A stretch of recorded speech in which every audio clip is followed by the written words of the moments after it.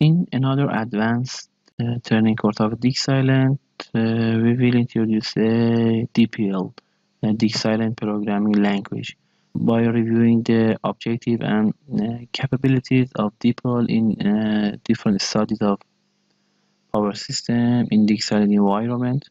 After that, introduce the DPL, its inputs, outputs, and defining the variable, constants, comment functions, and etc.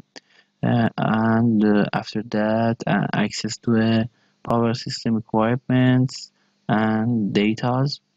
After that, accessing to computational functions, load flow, short circuit, transient, DPL, another DPLs of the DigSilent and calling uh, DPL by another DPL and reviewing the available uh, DPLs in soft in the DigSilent and also how we can uh, write some new DPLs.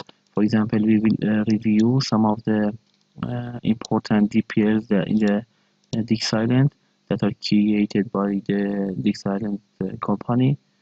we will review some of them and some important of them and after that uh, we will uh, describe that how we can write some DPLs and how we can code in uh, DigSilent uh, the, uh, the scripts the defining the parameters uh, and the, the, checking of the systems calling different equip equipments and finally how we can have a report and generate different reports for our system.